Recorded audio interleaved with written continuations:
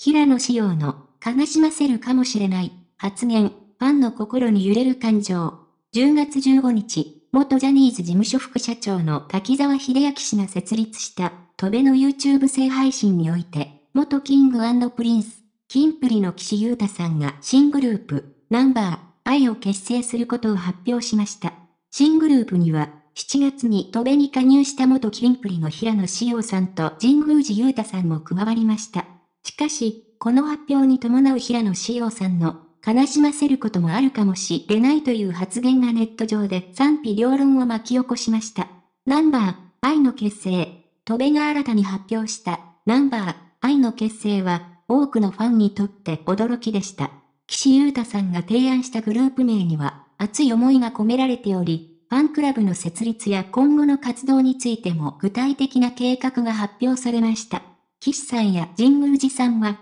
ファンと共に幸せな瞬間を共有することを重要視し、ファンからのサポートを呼びかけました。一方、平野志陽さんは、この新たな冒険に対して期待を寄せながらも、悲しませることもあるかもしれないと述べました。これにより、ネット上では様々な意見が交錯し、議論の的となりました。平野志陽の発言に対する反応。平野志陽さんの悲しませることもあるかもしれないという発言に対して、ネット上では賛否両論が広がっています。その中で、以下に主な反応をまとめてみましょう。賛成派の意見。きっと悲しませてしまったって本気で思ってるからだよね。でもそんなのはこれからいくらだって変えられる。良いことばかりじゃないかもしれないけど、一緒に乗り越えようと言ってくれたことで紫てるさんへの信頼度増した。絶対幸せにするなんてこの状況で言われるより、信頼できる。賛成派のファンからは、平野志陽さんが率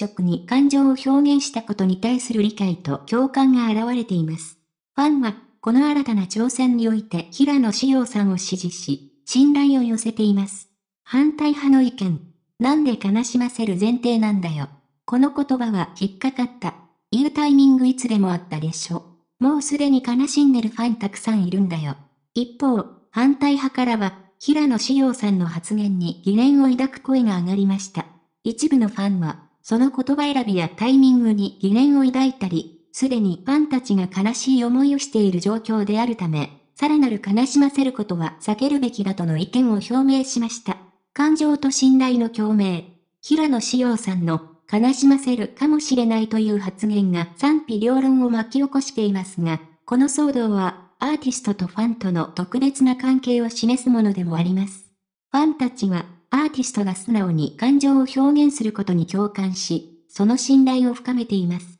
アーティストとしての成功に伴う新たな試練や挑戦は、感情の揺れを伴うものであることが少なくありません。平野志陽さんの言葉が、彼自身の本音や不安を包み隠さず表現したものであれ、ファンにとっては、その誠実さと向き合い方が重要です。信頼の基盤は、ファンとアーティストの間に築かれた絆から生まれます。この議論は、ファンコミュニティ内で感情と信頼を共有し、アーティストと共に成長していくプロセスの一部と言えるでしょう。最終的に、ナンバー、愛の活動と平野志陽さんの未来に対する期待と応援が賛否を超えて融合し、新たな旅路へと導いていくことでしょう。